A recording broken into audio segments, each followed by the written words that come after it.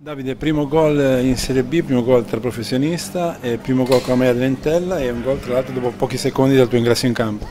Sì, sono sicuramente contento del gol perché l'ho cercato, mi sono sempre impegnato in questo periodo anche quando non giocavo, non trovavo spazio, sono contento del gol però rimane l'amaro in bocca perché non abbiamo fatto la partita che volevamo. E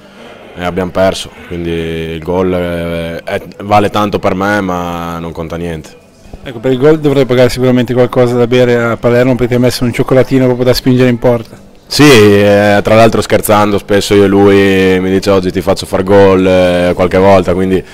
eh, non è stato magari un caso che, che l'assist l'abbia fatto lui, poi come ti dico son, gli pagherò da bere tutto quello che vuole, però non abbiamo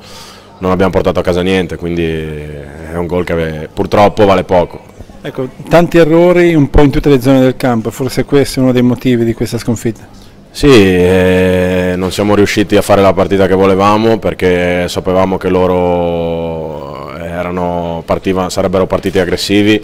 e che come noi avrebbero voluto portare a casa i tre punti perché questa partita sia per noi che per loro per la classifica contava tanto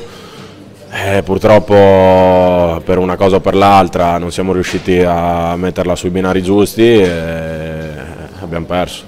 29 punti ma anche molto rammarico in diverse circostanze, un buon bottino comunque per questo girone di andata? Sì, anche se devo dirti la verità, se ce lo chiedi adesso è normale che, che ti diciamo di no perché oggi eh, volevamo assolutamente portare a casa qualcosa perché ci eravamo prefissati l'obiettivo di, di, girare a, a 30 punti e non ci siamo riusciti, quindi è vero che 29 punti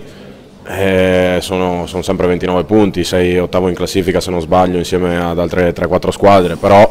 eh, a 30 o 32 era tutt'altra cosa, quindi è bene, però bisogna, bisogna fare di più.